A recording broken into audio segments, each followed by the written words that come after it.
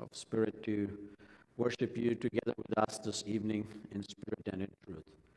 In Jesus' precious name I pray. Amen.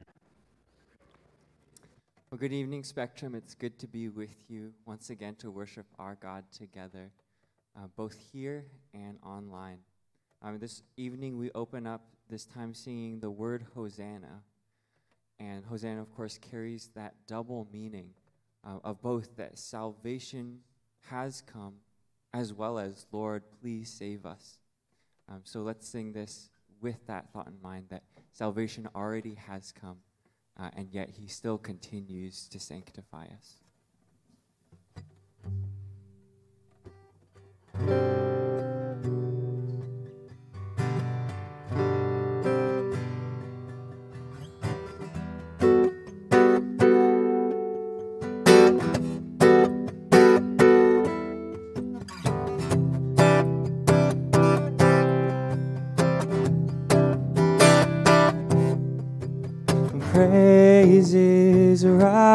Rising, eyes are turning to you. We turn to you. Where hope is stirring, hearts are yearning for you. We long for you. When we see you, we find strength to face the day. And in your presence, all our fears are washed away. Washed away. Hosanna. Hosanna. You are the God who saves us worthy of all our praises. Hosanna, Hosanna, come have your way among us. We welcome you here, Lord Jesus. Hear the sound of hearts returning to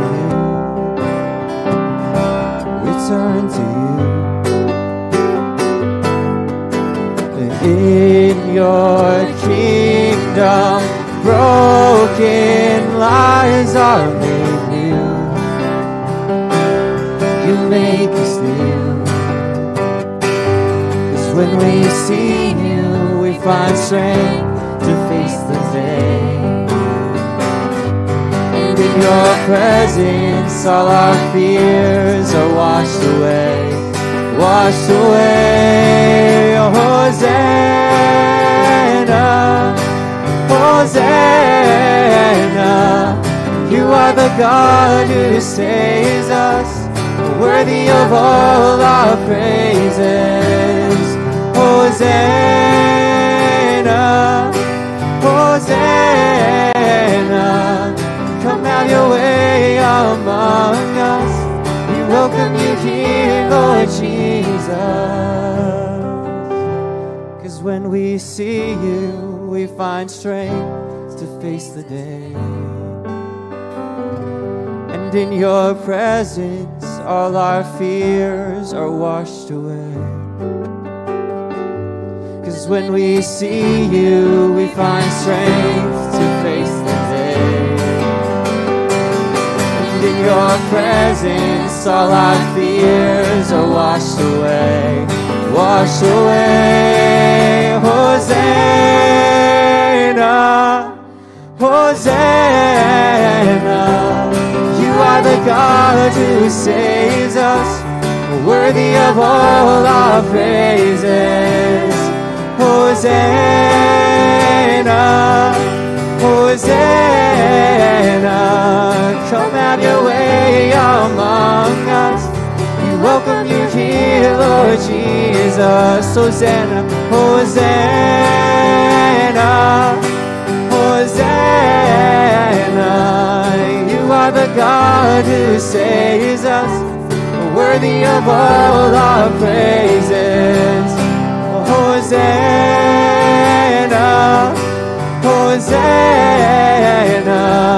Come have your way among us. Welcome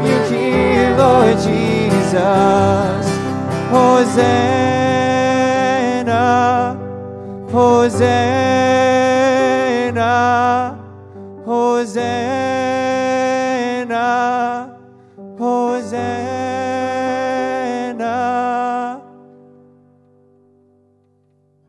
Amen. In this next song, we remember the words of the psalmist in Psalm 73.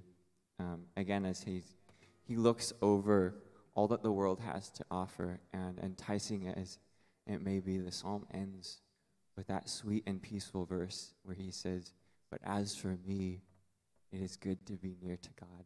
And so we sing that same idea, that same message, um, that our greatest desire is to just be close to God.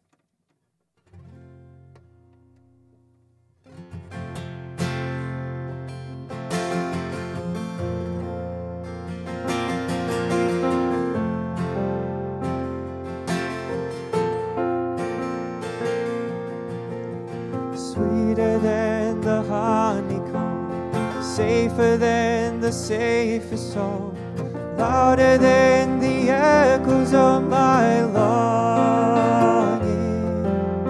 purer than wedding bell, better than an as well, deeper than the oceans of my wanting your nearness. Oh, your nearness is my good.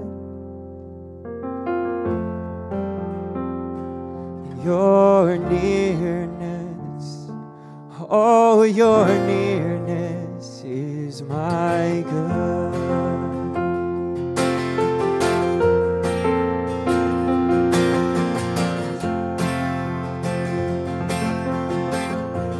Stronger stronger than my unbelief, closer than the air I breathe. Oh, Jesus, your nearness, oh, your nearness is my good.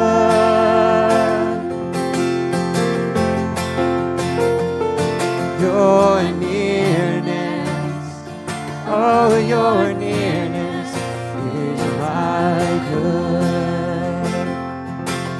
Near, oh God. Be near, oh God. Be near, oh God. Cause you're all I want. You're all I want.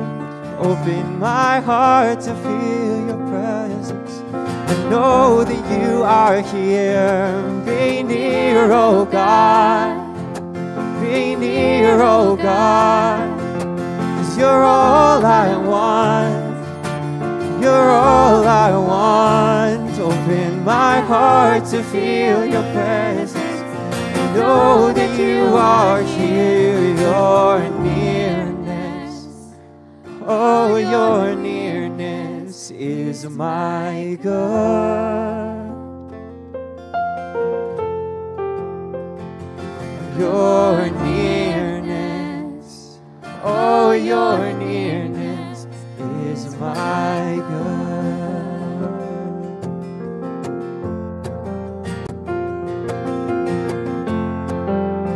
Sweeter than the honeycomb. sweeter than the honeycomb, safer than the safest song, louder than the echoes of my longing, purer than a wedding vow, better than a needle's well, deeper than the oceans of my wanting. Your nearness. Oh, your nearness is of my good.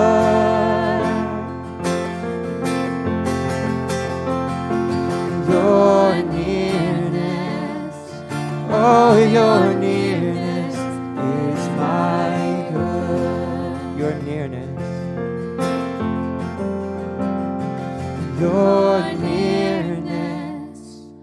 Oh, your nearness is my God.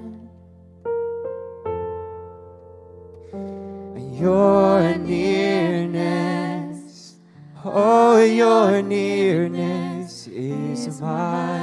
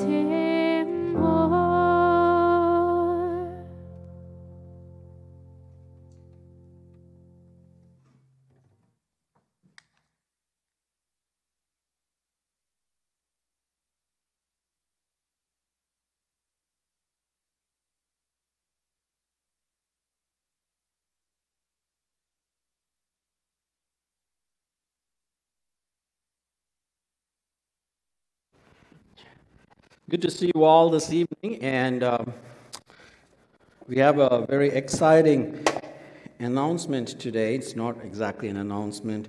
Somebody is getting married from our church, and uh, since they are getting married in India, I think they are requiring them for uh, reading of the banns. Now, that's not a practice we usually do here. It's mostly in England, and also I think the church in India is now mandated to do this. So, I'm going to read the first wedding banns for our own Vinay.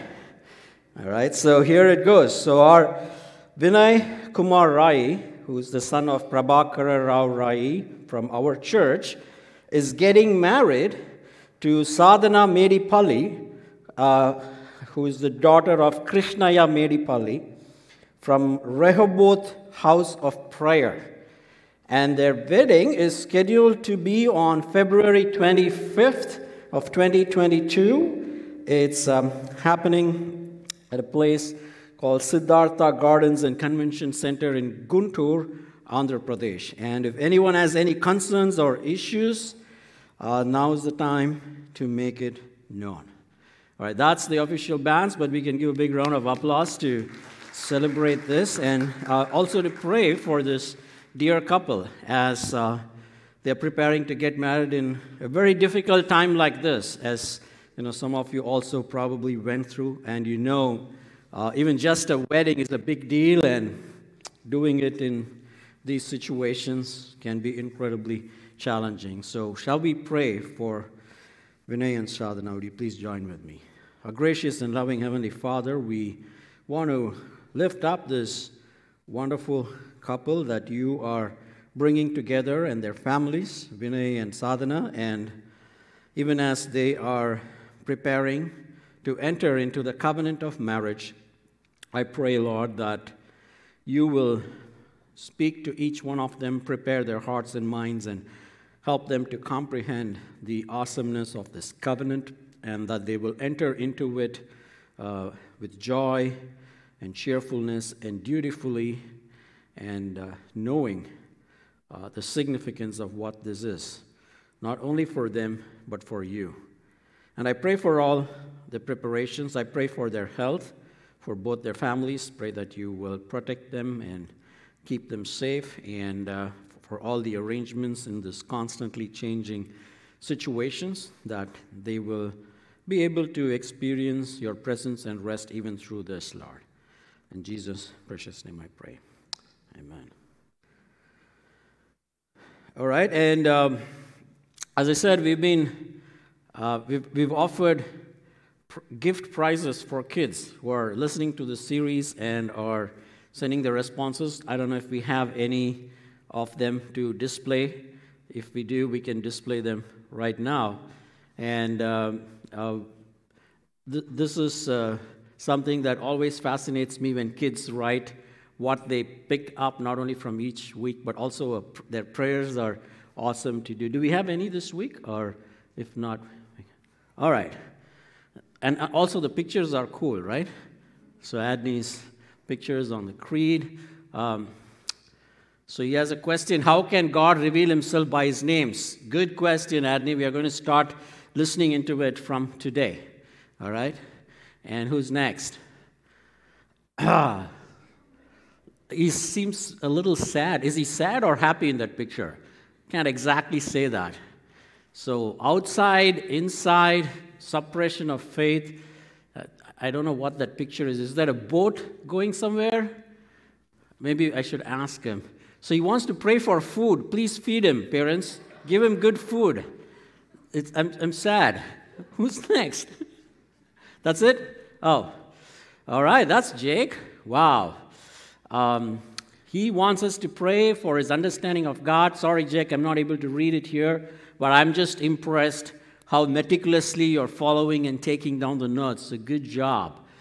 Wonderful. Anybody else? Oh, wow. His brother is man of few words. He wants to pray for his health. Um, I don't have any questions? That's, that's pretty good. I'm Glad you don't. All right. Anyone else, or that's it? All right, can we give them a big round of applause? So glad our kids are listening and checking in. And if you guys have any questions about what you hear each week, please talk to your parents. And also, you're welcome to come talk to me or your Bible study leaders. They will all be happy to answer that. So let's take a short break. And um, I know we all go by many names, right? Uh, especially if you were born and raised in India and then you moved here.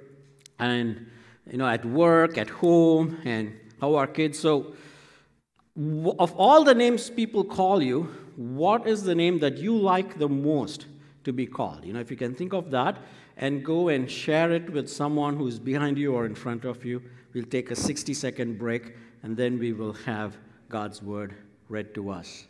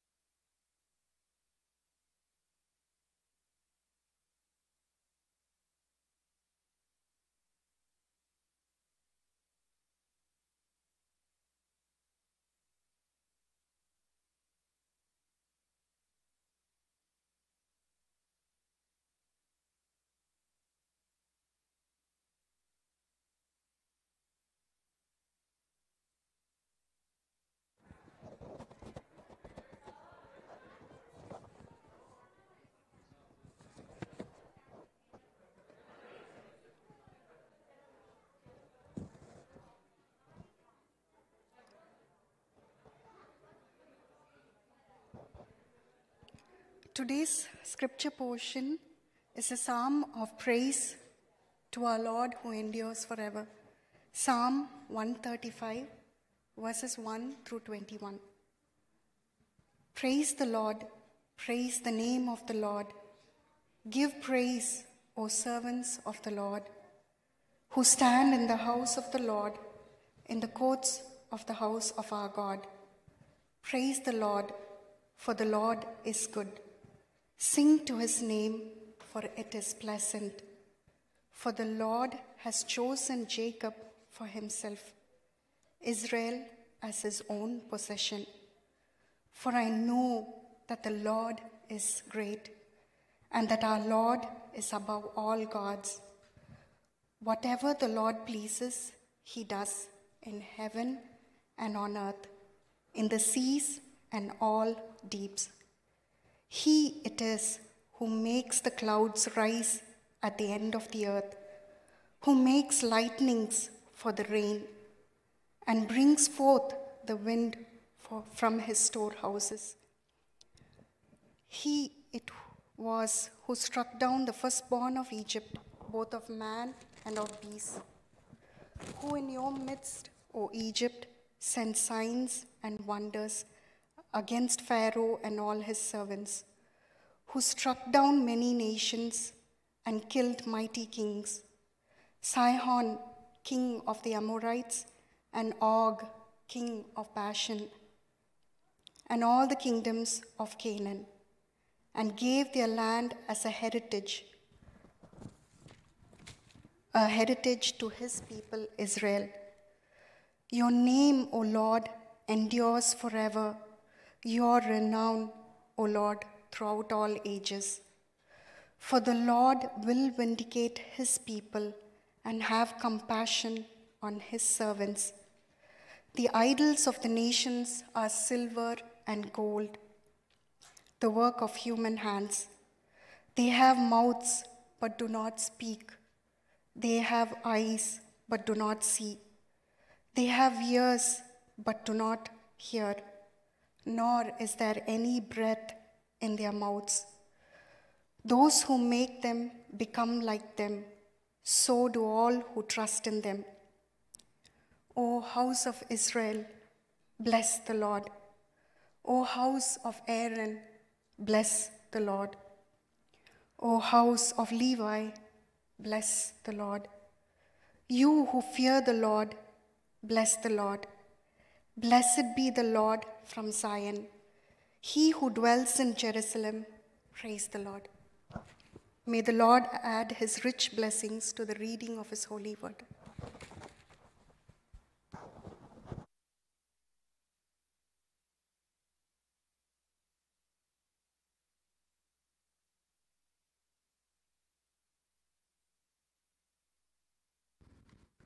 Let's pray.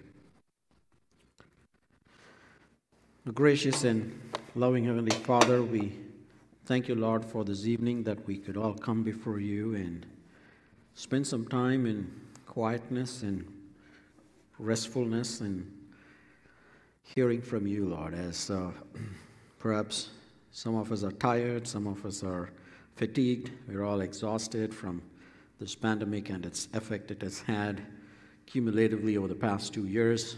Some of us are sick and recovering, and in all of this, there is only one place we can tu- turn to um, where we know that from the depths of our soul we can be refreshed, and that is to see you and seek your face. And as we desire to do that this evening, I pray, God, that you will show up in a very special way for us, that we may enter into this journey afresh, uh, leaving behind our preconceived ideas or thoughts, or perhaps even if there is any semblance of arrogance in us, of familiarity, that we will come humbly before you like a child, eager to know you more, and so that we can love you and worship you. In Jesus' precious name I pray. Amen.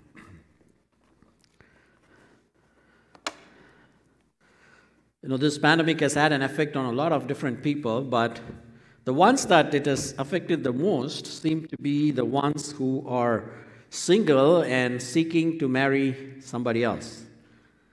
So, one of the cool things that happened during the pandemic is um, people came up with innovative ideas and apps to connect people. You know, just this past week, I got a coaching on what are some of the latest trending apps for finding a life partner. You know, several of you probably heard about eHarmony or you know Christian Harmony, all these websites that will have detailed questions, and you can, you know, they have algorithms that you can tell, hey, this is the kind of person I am, and this is what I'm looking for, and they'll try to match you up. And, and I think now it's shifted. Um, there are some new apps. You know, this is not a plug for any of the apps, so I'm not endorsing any of them or condoning them. But you know, there's uh, CNB. If you don't know what CNB is, Coffee and Bagel. That's that's a new trending app. It apparently asks you, hey, say a few things you like about yourself or stuff like that, and you can read that about the other person and try to connect. And, and now there's even a newer one called Line, which I hear is trending and very popular. And if you want to know more about these, I know somebody who knows that, so you can ask me, I'll direct you to them. I am not an expert on these things. But isn't that fascinating that people are actually, when they want to get to know someone, um, this is how they are approaching it, right? And um, where you try to know someone you have never met before, you never knew before, and you want to see if this can help you to take your relationship forward. Well, aren't we so glad it's not as cumbersome as that when it comes for us to know who God is? Because He has made Himself known to us through His Word and above all through His Son, Jesus Christ. And so, a little bit of recap today. We are going to continue in our series on Creed on knowing God. And, and what we saw last time was God reveals himself in two ways, right? And, and again, here are some pointers. If you watch the slide here, there's some blanks for you guys to fill. Can you have that slide? Yeah. So he, in, outside, he reveals himself to everyone. And, and there, are, there are some characteristics that you can discern from God, from external things. And you can fill in that missing word. And parents, do not help your kids if they're doing it. Let's see if they remember it. I was impressed. Sophia remembered it last time, and she was telling me in the middle of the week. I was like, that's pretty cool. And there are some other characteristics that you cannot find out about God just by looking externally, which He reveals internally to our hearts uh, through His Spirit, right? And what we need to know about God, there are two ways you can know about God, as you can see in the next slide. One is through the names of God that we see in the Bible. And the, one of the names, the first self descriptive name that God gives to Himself, is the one we are going to look at today, Yahweh. And secondly, through the attributes of God. Again, we spoke about two specific things about God's attributes. So if you guys know what those are, remember what those are, text them to me, okay? Or send me an email. And, and think of some other names that you know in the Bible that the Bible uses to describe who God is. Also, this is open for adults. It's not just a kids only question or a trick question, okay? So today, um, um, we are going to look at how God reveals himself through the names. And we will go through uh, all the other things later on. And if you think about it, God does not actually need a name. He does not have to name himself like you and I do. But still, He graciously chooses to do that so that as His creation, we can try to understand and know a little bit of who He is. You know, a name is a big deal. Those of you who are parents, you probably remember very clearly, with much excitement, when you know that a kid is on the way, your baby is on the way, and you are starting to think about names. You know, you, as a husband and a wife, you have different priorities, prerequisites, and sometimes, you know, grandparents have a say in what the name is. You want that name to really means something that is very unique, and you hope that the name that you give your child, the child will grow up to live up to that name, isn't it? I, I remember for us, it was such a joy to name all our three kids. You know, first was Carissa, and, you know, uh, that time I was just fresh off uh, learning Greek and very excited about that. And we wanted to name her as Grace. And, uh, and then realized it's such a common name. Everybody has the word grace. And we thought about it in Tamil, which would have been Kirba. That also was a common name. And so we thought, hey, we'll give her the name for grace in Greek, which is charis. And uh, we thought nobody will have that in India. We never thought we were going to live here.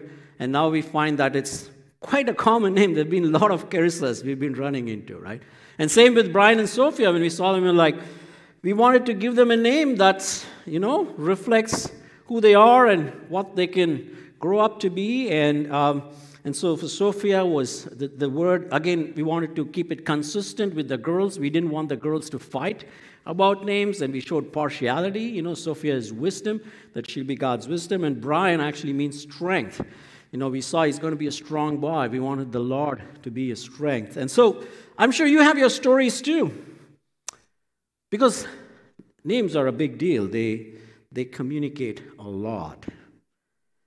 And isn't it interesting that God identifies himself with certain names in the Bible? And if you think about names, there are three kinds of names. There are proper names, right? Proper names are ones that are specifically given to people. Then, especially for God, like Yahweh and you know El Shaddai and all of those things. And there, and, and, then, and there are titular names, you know, which are given that describe some characteristics of God. And then there are personal names of the Trinity, you know, Father, Son, and Holy Spirit, about Jesus Christ. So today we are going to only talk about proper name of who God is. And, and so that's the part, I mean, I wanted to give, expand a little bit while we recap on that. But whenever we try to understand God, either through his name or through his attributes, we will immediately come to realize we have a limitation because we are creatures. And so there are three principles that we spoke about last time in how we approach this pursuit of knowledge of God because there is a separation between the creature and creation. And if you can have the next slide, again, let's see who remembers these three words that were there.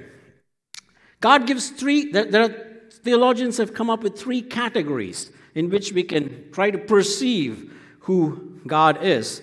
For, as creatures, we are looking at our Creator. And if you remember these, again, you can text them to me or email them to me, or if you have questions, we can talk about that. But I'm going to unpack this for us, you know. The first is by way of causality. And I'll talk about that in a little bit of what it means is where, where God, if He's our creator and we are the creation, there is something that is the cause of the creation and through which we can know Him. Second is um, by way of um, looking at what are some characteristics that are in God's creation that are either there or not there in God. You know, because we are all created in the image of God. You and I, the Bible opens by saying God created man in his image. And the technical word it uses is theomorphic. We are, we are morphed or we, we, we, we are in the uh, image of God. And, and he is the source of all creation. And therefore, God, however, to communicate to us, uses another aspect of communication which we call as anthropomorphic. You know, he uses human terminology, uh, things that are familiar to human beings, and even anthropocentric, things that are that will make complete sense to us. You know, but there is a challenge in doing that because you have to make some distinction. And for that, these three principles are super helpful. You know, uh, you can take off the slide. What, what I was sharing about those were first is causality. We'll come to that a little bit. And second is uh, eminence. And third is negation or negativity. Eminence is like when, when you look at a creation and you see something is beautiful, something is spectacular. You know, any perfections that exist in a created thing ought to have existed in the Creator preeminently. So that is what you can infer. You know, if, how do we know God is awesome and holy and beautiful? There are things that He has created that reflect His awesomeness and holiness and splendor, like Paul talks about in Romans 1. Negation is the exact opposite of that, where we see we take away the properties that are there in the creature which are not there in God. You have to make those distinctions very carefully. The former one is where whatever good we see the creature has, there's more of it in God. The latter one is whatever imperfections that are there in the creature, they do not seem to be there in God.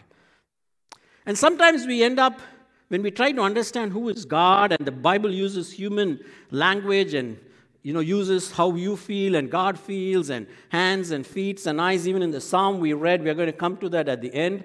It talks about all those characteristics God has. We can err on making the right connection if we don't apply these principles. And when we talk about causation, when God causes to create something, when God produces something, th- there are two, kind, two ways in which something can be produced. You know, Thomas Aquinas is one of the early church theologians. He said, when God produces something, it is on, not on the same plane of being. For example, when when you say that, you know, Mr. X caused or produced a son who is also a human being, they are on the same plane. But God's causation, production, is not on the same plane. And if we start to apply it, for example, oh, God, I, I am in the image of God, I have anger, and then you read God is an angry God, he must be terrible. Because we try to project how we get angry to how we think God gets angry, and therefore conclude that either God is so mean, and that's what most people do. But the other way to think about it is you're producing something on a different plane. A classic illustration would be you know, when I watch my kids, they build a Lego ship. Now, who built that? My kids built that. They caused it into existence, picking up the pieces. But you see, they're not on the same plane. So, as parents and children, there can be a lot of similarities by being similar, but in this case, it's different. So, when we talk of divine attributes, it's important to keep this distinction in mind. And now we'll come to the first name with which God identifies himself. And that name has only four letters in Hebrew. You know, you can see that in the next slide. It's the name Yahweh. In Hebrew, you do not have vowels, you know, so they have only consonants. And this is called the tetragrammaton. And he chooses this is a proper name. You know, the name God is a class name. You know, it can be applied to anybody else, but Yahweh, God says, is his own name. And when Jesus teaches us to pray in the Lord's Prayer, begins by asking us to pray, Hallowed be your name. And that name is this proper name. And it is a name we will see shared by all three people in the Trinity. Unlike the other names or other examples the Bible uses to say, God is my rock, or the lion is the lion of Judah, you see all these created things, this name doesn't have any external reference. It's, it's a very unique name to who God is. All other names are used to, through, by referring to some aspect of his creation, but this name alone, the self revelatory name of God, is very unique, which sets it apart. The best commentary to understand this name is actually the book of Exodus, the very second book in the Bible.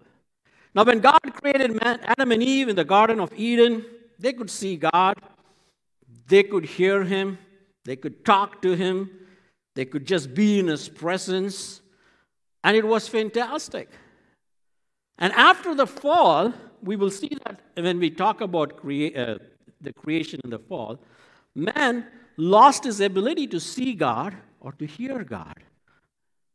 And then we know the sequence of things that happened in the book of Genesis, where the entire creation went into a downward spiral, and then you had the flood, and God started a new creation out of the flood. And then you had people who were descending from Noah, and, and even there things once again went bad. Finally, God calls his children and through Abraham, Isaac, and Jacob, and their descendants end up in Egypt. And they seem to be so far removed from God at this point, from Eden, where they were created in his image, enjoying his intimacy, to now being slaves in Egypt under the Pharaoh.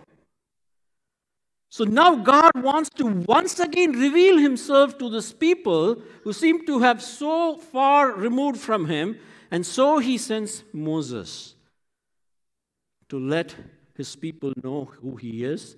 And not only his people, he wants to let the whole world know who he is.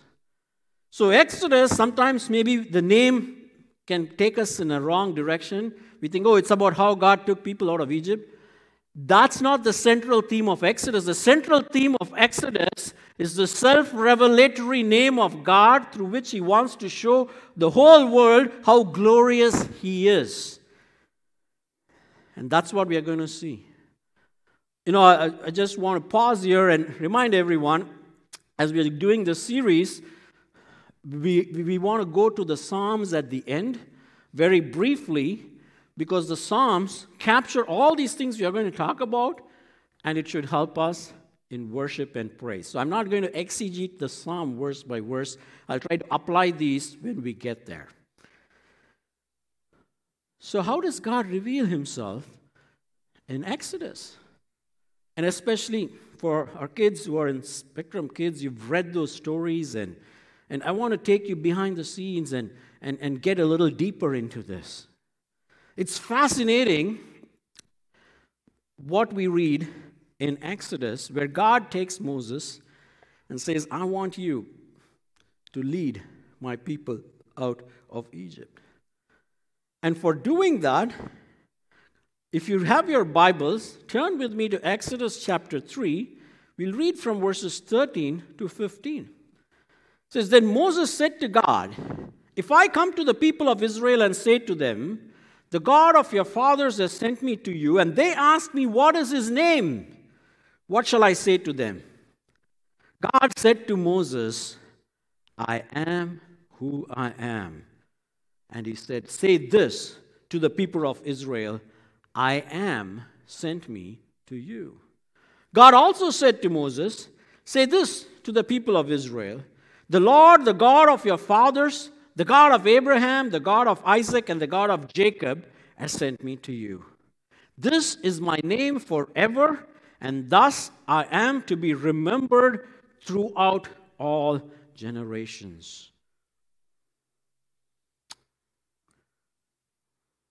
This is the self revelation of God to Moses. Moses basically saying, What's your name, God? Why should they now come to you? First time, God gives himself a name. And it's a very unique name. And in fact, the name is actually not even a noun, it's a verb. It's the verb for to be, to exist. It's, a, it's actually a word play on the verb to be in Hebrew. It's unique.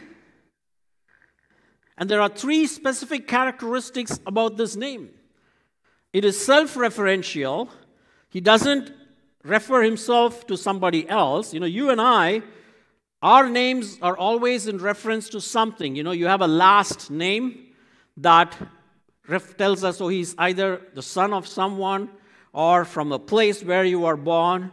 Or, or even you look at some people, oh, yeah, there's, you know, there, there's some similarity and, and things like that. But for Yahweh, there's no external reference. It's also self interpretive. God chooses to interpret his name without reference to anything, and it is also self determinative. He determines what his name is and what gets accomplished through it. These are three self attributes of the divine name Yahweh. He basically says, I am.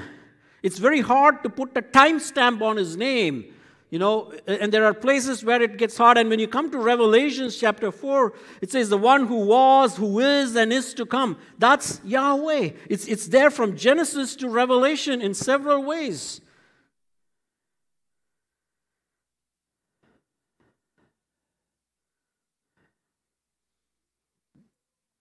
And when you come to John's gospel, we'll see more of it later.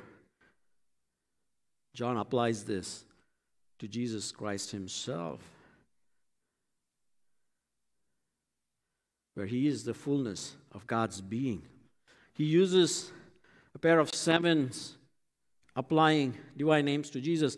Jesus says, Before Abraham was, I am. And if you look at the Septuagint translation of it, it uses the Greek equivalent of Yahweh, which is ego eimi. So, what Jesus was telling was the name Yahweh, which till the Old Testament times were exclusively used to refer to God Himself, is His name too. And that's why people pick up stones. The Jews get mad because they want to stone Him. And then He makes those beautiful seven I am statements, isn't it? But when he makes the seven I am statements, the I ams are not absolute, but they are predicates. He says, I am the light of the world. I am the bread of life. He is the one who actually reveals this Yahweh to us in ways you and I can comprehend. He is the fullness of everything that is in God. Everything good we find in creatures, we said, exists supremely and excellently in God, isn't it? God created light out of darkness. He saw there was darkness, and then out of His own light, He brings the light out. It's called ex nihilo creation. Creation it was not creation out of nothing, it was creation out of the very substance and being of God Himself. And then Jesus comes and says, I am the light of the world. You need physical light to move around and see things, but without me, without my light, you cannot understand anything about who God is or who you are. And that's now the word Yahweh, I am, takes on special significance in the light of the face of Jesus Christ. We need bread to sustain our physical beings. And Jesus comes and uses Yahweh phrase, I am the bread of life, because he is the supremely essential bread for you and me to sustain spiritually. God is self existent, you know, as we saw. We all exist because of something else, but He is not. The Father has life in Himself, and so does the Son have life, and He gives it to you and me. So from Him, we get that. And Jesus goes on to say, we read about Him in Paul. He says, Jesus is the same yesterday, today, and forever. That's the New Testament equivalent of I am who I am. But you see, if you go back to Exodus, God just doesn't say, This is my name, and lets Moses tell him, and people don't say, Oh, okay, this is your name, I'm going to call you by that name. No. He actually starts doing some things that will show the people what the name Yahweh significance. They are going to see as the things of ex- events of Exodus unfolds, the infinite nature of who God is, and they are going to see the independent nature in which how he acts. The infinitude of who God is and the independence of his actions are going to show people what Yahweh really means. And why is this important to Moses and the Israelites? Why should they, when they hear this name, start trusting in this God and following him? And why does God specifically say this name? It's very important to them because now they are in slavery, and it is going to be a consolation to them to know that this God who is now speaking to them through Moses is the same God who spoke to Abraham. He was he's the same I am, who he is to them was who he was to Abraham and who he is to you and me today which means that if he made a promise to Abraham, that promise still holds for us, and therefore we can trust him, and that promise still holds for you and me. Because his purposes don't change. That's the significance of I am. He says, My promises will be fulfilled. Do you know and believe and trust that I am Abraham's God? I am also your God, the same way I was to him. So God reveals his name through his infinitude and his independence in his being. He says, I am the same person in my being. I have not changed. He doesn't just leave them with that. Could have sounded to some as a pep talk. Oh, yeah, that's right. Yeah, you said all those things, but look at how we are. We are right now messed up. We are as slaves. So he says, You don't have to just take my word for that. I'm going to reveal my infinitude and my independence, not only through my being of being the same person, through my power. I'm going to show you what Yahweh means by my infinite, independent display of power, not just for you, but for the whole world to see. And that's what happens in Exodus chapters 5 to 7. If you have your Bibles, turn to Exodus chapter 5, verse 1. It says, God sends Moses to Pharaoh and tells Pharaoh, Let my people go. You know, Pharaoh gets cheeky and he tells, Hey, who is this Yahweh? Why should I let you guys go? You know, verse 1 in Exodus 5, he says, Afterwards, Moses and Aaron went and said to Pharaoh, Thus says the Lord, the God of Israel, let my people go, that they may hold a feast to me in the wilderness. But Pharaoh said, Who is the Lord? You see, whenever you see the word Lord in capitals, it's Yahweh. That I should obey his voice and let Israel go. I do not know the Lord, and moreover, I will not let Israel go. Wow. Here's the greatest king of the mightiest empire of the time He's challenging Yahweh. And from Exodus chapter 5 to Exodus chapter 4, it's a running commentary, a vivid commentary where Yahweh gets into action teaching this Pharaoh who he is. So, in, in all these chapters, you're going to see, especially from chapters 7 to 14, Yahweh is going to perform certain actions before certain audiences through which they are going to know some attribute of who He is. And at the end of it, everyone will know the glory of Yahweh's name. In fact, you even hear towards the end, later on, when Rahab sees. Uh, the informer, she says, We heard about Yahweh's name. How did the world hear? They saw Yahweh's action unleashed. In, in uh, Exodus 7, verse 5, says, The Egyptians shall know I am Yahweh when I stretch out my hands against Egypt, where I, they will see how I act independently and infinitely displaying my sovereignty. You know, verse 5, 7, it says, The Egyptians shall know that I am the Lord when I stretch out my hand against Egypt and bring out the people of Israel from them.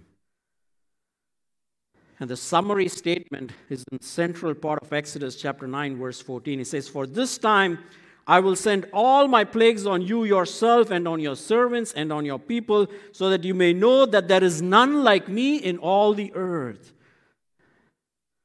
I will send plagues so you will know there is no one, and I have tremendous power and control over creation. I can make what I want to see and happen in every single thing that I have created when I want to see it happen, with whatever intensity I want to make it happen. I'm incomparable. I want to show you my power, Pharaoh, so that it'll be proclaimed in all the earth. His being is infinite, His power is independent. And He says, You, Pharaoh, are actually part of my plan. In fact, for this reason I raised you. I'm using you to make my power and name known to all the earth because I am who I am. And so when Moses breaks into a song in Exodus chapter 15, in a summary, he says, Who is like you among other gods? You're majestic in holiness, you're awesome in glorious deeds, doing wonders. That's the central theme of Exodus. It basically reveals there is none like him and justifying his name. He just is. Yahweh's independence and infinity is exhibited in his unrivaled power.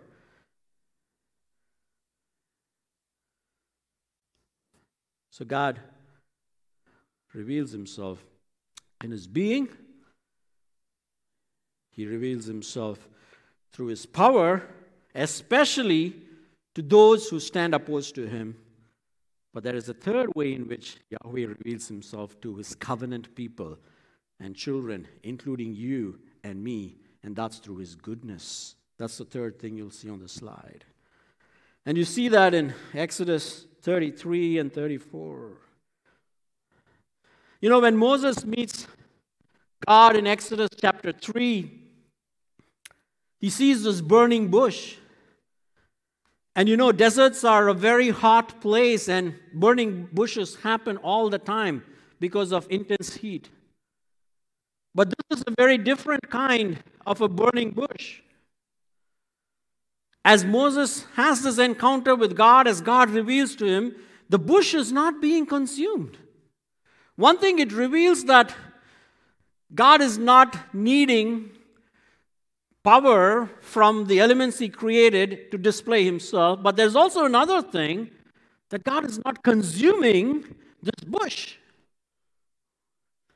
And so the big question that comes in Moses' mind is well, God is this consuming fire.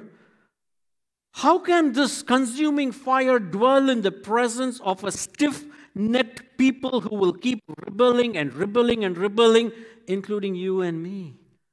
Will we not get burned? Will we not get consumed? And there was a glimpse of this goodness and the grace of God in that burning bush when that bush was not consumed. No one had ever seen a God like that before. This God of infinite and independent in his being, infinite and independent in his power, is also a God who is infinite and independent in his grace and mercy and goodness to those who love him, his covenant people. In fact, God threatens to destroy Israel, and Moses intercedes and asks God now in Exodus 33 and 34. He, he doesn't even know what to ask God for because you see, when he goes up to get the Ten Commandments, the people already built a golden calf, a created thing, something that they were not supposed to do. And Moses' fear now is they, are going to be consumed if God burns among them. But now he knows he cannot even ask that. So, so he doesn't even know what to pray. And he says, God, show me your glory. Show me who you are. Maybe then I will know how better I can communicate and ask and pray. Because Moses knows no one can see, and God tells him, No one can see my face and live, so that, you know, you, I'm just going to pass before you. You should hide yourself in the cleft, and I, you can see my back, and then I will tell you who I am. God's saying, for the first time, Moses, I told you what my name is in Exodus 3, in Exodus 33 and 34. I'm going to tell you what that name means, especially for my covenant people. That will help you understand who I am a little bit.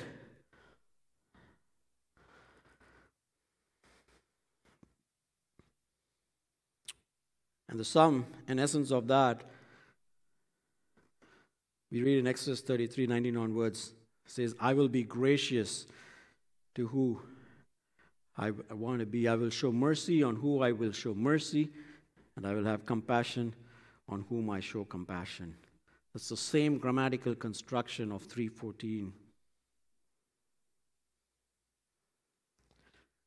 And if you read that chapter, you can go home and read it says, My grace extends to a thousand generation. I keep my love to a thousand generation.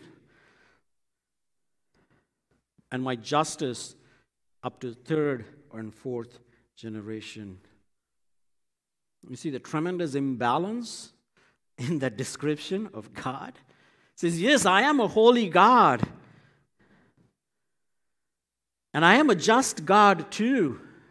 My infinitude and my independence are displayed in both my love and in my justice, except my love is going to infinitely extend to a thousand generations, and my justice, because tempered by my grace, will only go to three or four generations.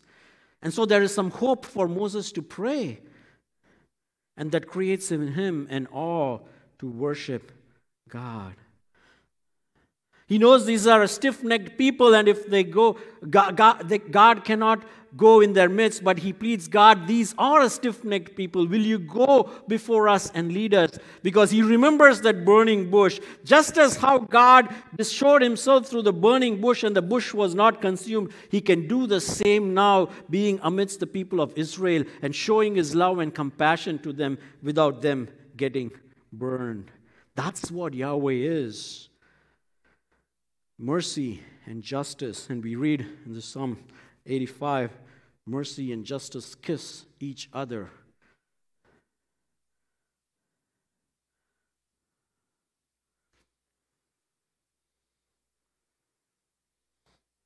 And that's where we see the name of God that we cannot understand fully, that even the Old Testament saints could not comprehend fully, was made vivid to us through Jesus Christ, who is the image of the invisible God. John 1:14 is the equivalent of Exodus 3:14. Jesus Christ is full of grace and truth. Is the equivalent of Yahweh saying, I will show my love to a thousand generations and my justice to three and four generations. Isn't this awesome? God's infinite independence displayed in his just as being who he is. God's infinitude and his independence displayed through his power, especially on those who reject him and who rebel against him. But God's infinite and independent goodness revealed through his grace and mercy to you and me who are his covenant people. Isn't that awesome? That's who Yahweh is. And we have Christ who is, who was, who is, and is to come. The expression of God to us, who reveals this God to you and me every day through his Spirit who abides in us. And when you get this understanding of Yahweh and you turn the pages of the Bible, every single page in the New Testament, when it says, Who is this Jesus? You know, when it says, You believe in your heart that Jesus is the Lord and you are saved, the Lord. That's what the Lordship of Christ is. You can find Yahweh in every page of the New Testament as well. And that's the beauty of the gospel that this Yahweh came down to you and me. He not only had a name, now he took upon a form, and that was Jesus Christ.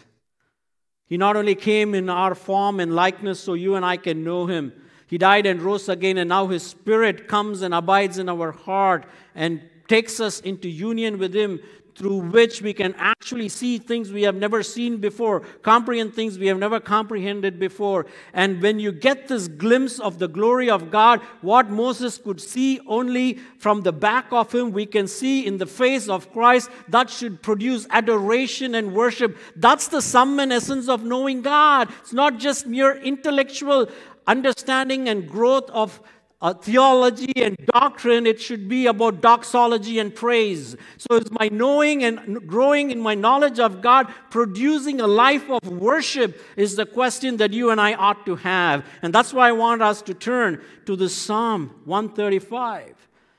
You know, this comes in the last book of the Psalms. You know, those of you who attended our midweek series know that, you know, you have these five books of Psalm. Each of them were different, written predominantly in different eras. This is a post exilic Psalm where the Israelites learned their lesson. You know, God gave them Canaan, and they were still the same stiff necked people. They were still rebelling. They were still doing all the things they were not supposed to do. Then He exiled them and put them under oppressive regimes and and yet he still didn't abandon them and they cried and they pleaded and you have the psalms of lament and then he brings them back. And now they get it sort of. And so here is the psalm they sing. It's a psalm of ascent that is sung when people are marching to worship god. And if you look carefully in the psalm in these very few verses, the central theme and focus of this psalm is the word Lord. It happens 20 times. It's a very unique psalm in that it's a, it's a mosaic psalm, not like mosaic in the form of Moses, but it actually picks several things from all the psalms before and other parts of scripture and stitches them together to give us a picture of what does worshiping our Lord as Yahweh look like. And, and it says, when you comprehend and know this Lord, you will be praising Him like this.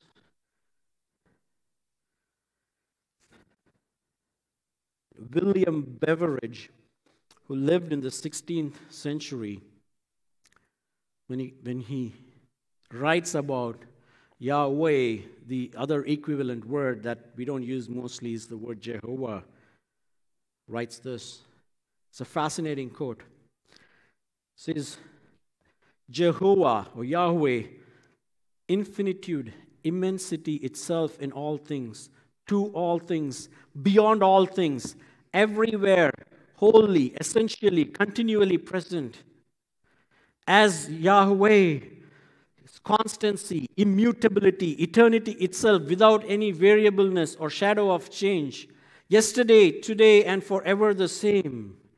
In a word, when we think of the Most High God, Father, Son, and Holy Ghost, we should think of Him as Jehovah, Yahweh, unity in Trinity, Trinity in unity, three persons, one being, one essence, one Lord, blessed forever. That is that this is that glorious, that almighty being which the psalmist here means when he says, Praise ye the name of the Lord because he is unchanging in who he is and what he does. You know, that's what the psalm opens by saying. It says, Praise the Lord, praise the name of the Lord. Give praise, O servants of the Lord. It's not just enough for one person to praise Him. Such a huge God demands the praise of all of His children all the time, and so it's appropriate to gather in worship to praise Him. You know, that's the whole beauty of corporate worship. Is God draws more glory more by a corporate worship than if just it was you and me in our closet worshiping Him you will not be able to comprehend and give him the praise that is due to his manifold attributes. But when we do it corporately together, that's how he gets glorified. So he says, Give praise, O servants of the Lord. Sometimes we have this tendency, oh, let me skip those worship songs. Let's just go straight and hear God's word. You know, I've done that sometimes when I'm traveling and visiting places, and you miss out. It's not about you. It's not about what you can get that day from the sermon or whatever you can use. It's about what we can give to this Almighty Lord. And then he lists almost five reasons why we need to praise God. The first, he is good, verse 2. How do you define good? Goodness exists only within God. Everything else you think good is very temporal and fleeting. It will be good for a short time and it's gone. But ultimate good exists within God. And, his, and, and, and when we think, oh, these are good people, and you start having a relationship and you develop a friendship, it's just a matter of time. You will find out some of their rough edges that will tick you off. And especially if you're married, the longer you are married, the more you're going to see each other's sinfulness. And you thought, I thought this person was a good fit. You know, maybe line was wrong. Maybe coffee and bagel didn't get it. Maybe eHarmony messed up. The algorithm needed an update and they didn't update it. This person is no longer good. I thought he or she was good, but they're not. But you see, it's not going to happen with God. He is always good, all the time. All of Him is good. So we should worship Him. And one of the reasons today young people struggle to make a commitment to marriage is they are not sure if this is absolutely the right person. You will always marry the wrong person, as one of the marriage authors said. It's not my quote, somebody else, I forget their name. You will always marry the wrong person, no matter how hard you try. The sooner you get to that reality, the better it is for you. The only good person that's always going to be in your life is God Himself. And if you try to get that from your spouse or your kids, you're going to end up in more and more disappointment. And when you realize, wow, so this God is good, He never changes. Even when I mess up, He still is good to me. Then I need to worship Him and give Him thanks. That's the first reason the psalmist says about His being. Secondly, the reason he says is because he chose Jacob. Verse 4 For the Lord has chosen Jacob for himself, Israel as his own possession. Mind blowing. He chose you and me, it says, even before the foundation of the world, in spite and despite of who we are. You see, all these are not theoretical concepts. Because He is infinite and independent in His love, He has so much unchanging love to give you, which is not connected to you and me always being in the best of our behaviors. Because it is so independent, his choice to exercise his love, it is not dependent upon you and me keeping his law and observing it all the time. And you know, we know who Jacob was. He's not a great guy, even has this name of being a deceiver. But yet, look what he says. He gives his name to Israel. He says, This is my own possession. He names a nation after him.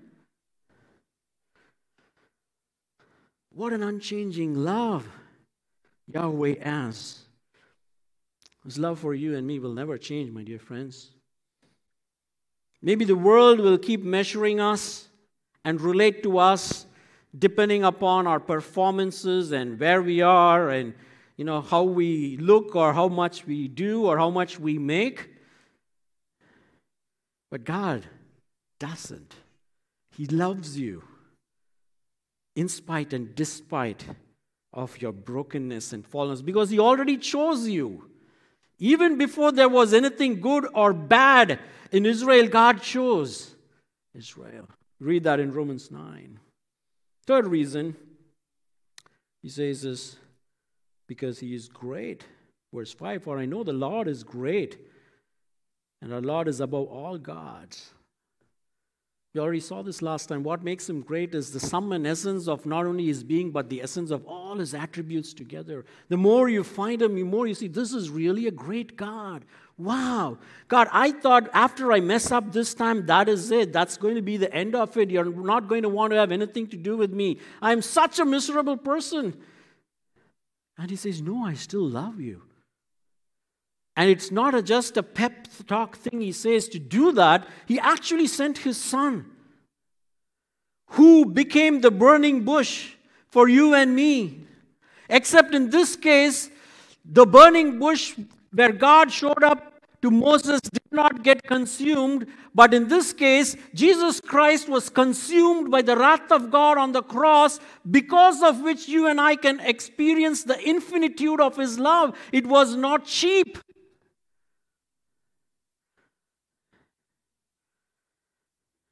That's what makes God great.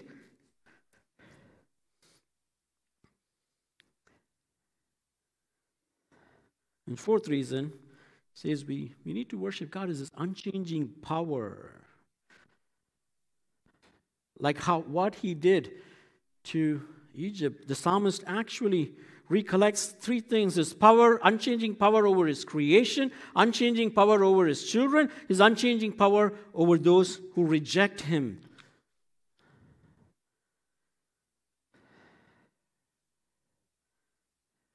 He says, Whatever the Lord pleases, he does. Verse 6 In heaven and on earth, in the seas and all the depths. He it is who makes the clouds rise at the end of the earth, who makes lightning for the rain and brings forth the wind from his storehouses. The power of God in his creation. And his power on those who are against him, verse 8 onwards. He it was who struck down the firstborn of Egypt, both of man and beast, who in your midst, O Egypt, sent signs and wonders against Pharaoh and all his servants, who struck down many nations and killed mighty kings, Sihon, king of the Amorites, and Og, king of Bashan, and all the kingdoms of Canaan, and gave their land as a, inherit, a heritage, a heritage to his people. You know, the two kings it mentions here, they were the first ones to attack Israel un- absolutely unprovoked. Og, who's the king of Bashan, that was a nation of giants. And God just took them down by displaying his power. It was not just the Pharaoh who saw the power. When God helped the Israelites to fight all the enemies who stood against them, however big they were, without using their strength, he showed his power to everybody. And that's the same God for you and me. I don't know what are the obstacles you are standing opposed today. Do you believe we have a great and mighty God who will fight our battles for us and you cannot? And we have to let go and let God, and He will do it because of His incredible love for you? Because that's the next thing the psalmist praises Him for. Verse 13 and 14, he says, Your name, O Lord, endures forever, your renown throughout all ages. For the Lord will vindicate his people and have compassion on his servants. And then he looks at those nations. It uses again the anthropomorphic language in an exact opposite term, contrasting the idols that man makes to who God is. It says, Idols of the nations are silver and gold the works of human hands. They have mouths but do not speak. They have eyes but do not see. They have ears but do not hear. Contra- contrast this with Yahweh, who sees you, who hears our prayers. And in verse 18, it says, Those who make them become like them, so do all who trust in them. We become like our idols, even today. Isn't that the truth? What we have idolized, what we have placed above God, will shape us, will influence us. What we end up thinking in the middle of our night, is what we want to become more of, or what we want more of in our life, will make us like that. If that is anything other than God, that is going to make you and me to be bitter people, jealous people, comparing yourself constantly with one another, and forgetting we have this absolutely awesome God, and we need to have our eyes set on Him and Him alone. And he ends up in praise, the final three verses, calling everyone to bless the Lord.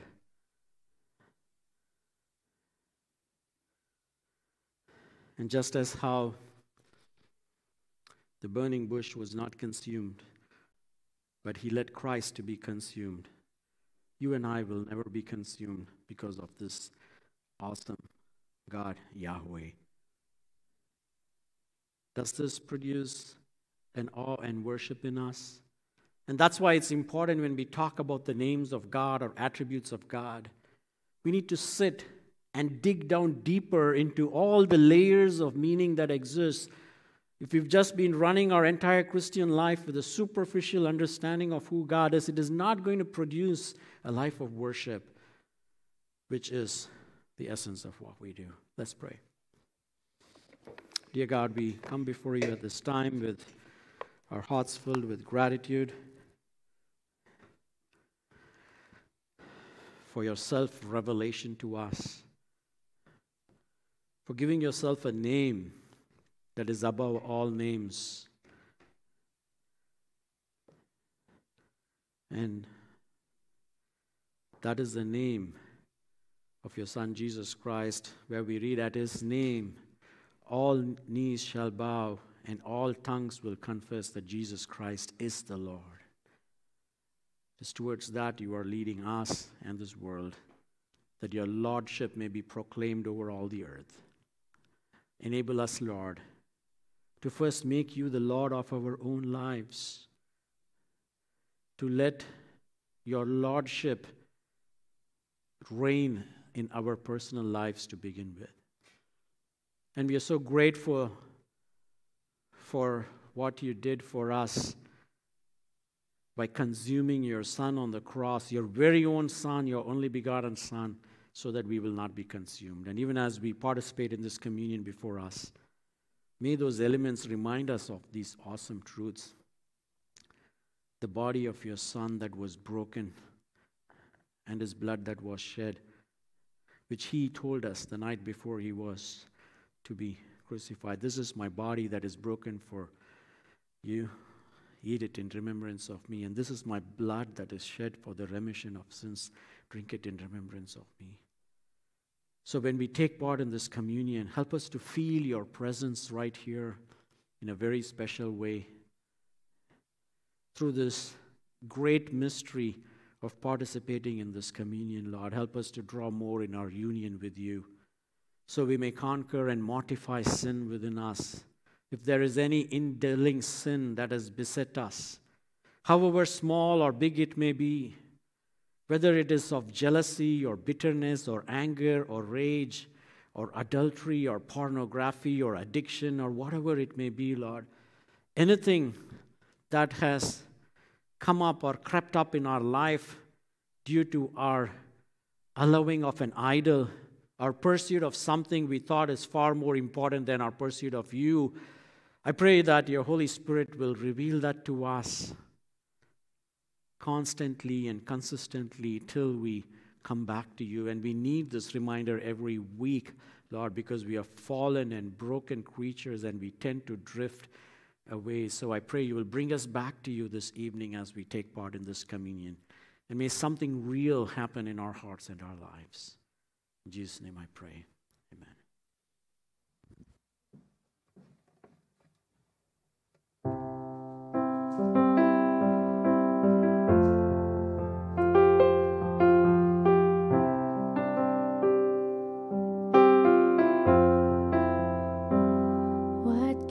Of grace is Jesus, my Redeemer? There is no more for heaven now to give. He is my joy, my righteousness and freedom, my steadfast love,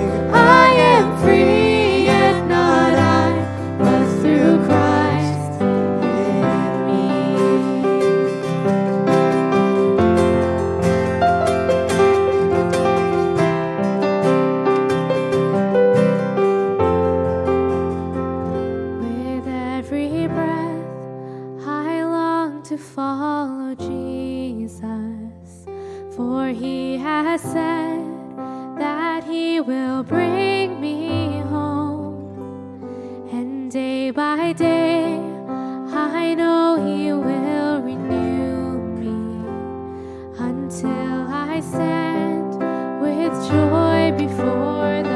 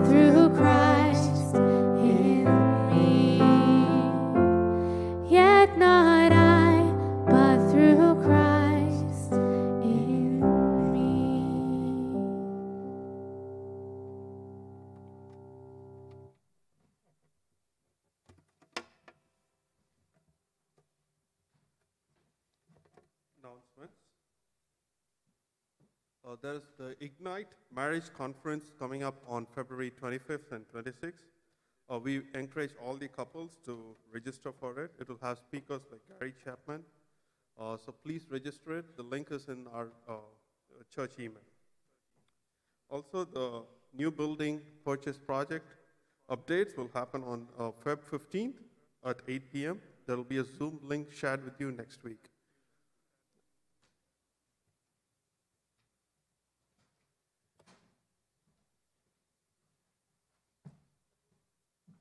Let's pray for offering. Dear Lord, we come to you with humble hearts.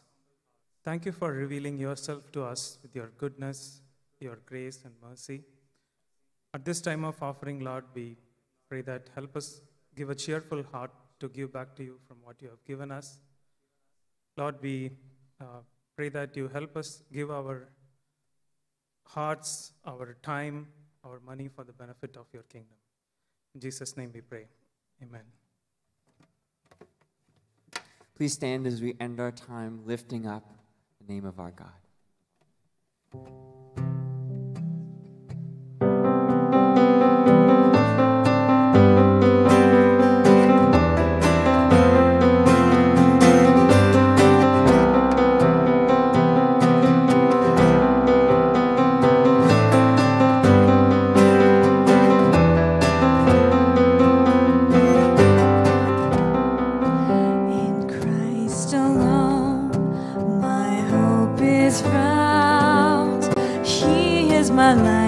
Strength, my song. This cornerstone,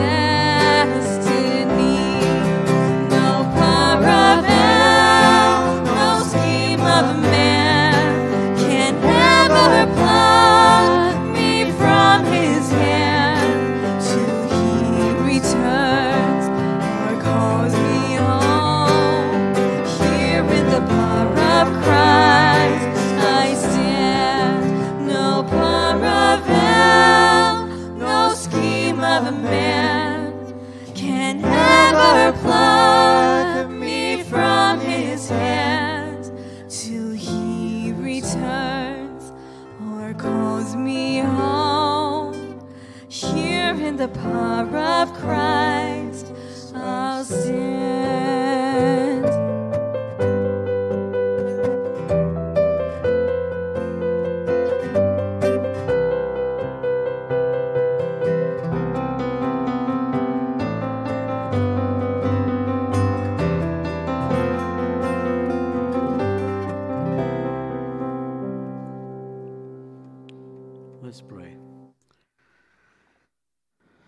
gracious and loving Heavenly Father, at this time we want to intercede for those among us who are sick and who are fighting um, various things in their life.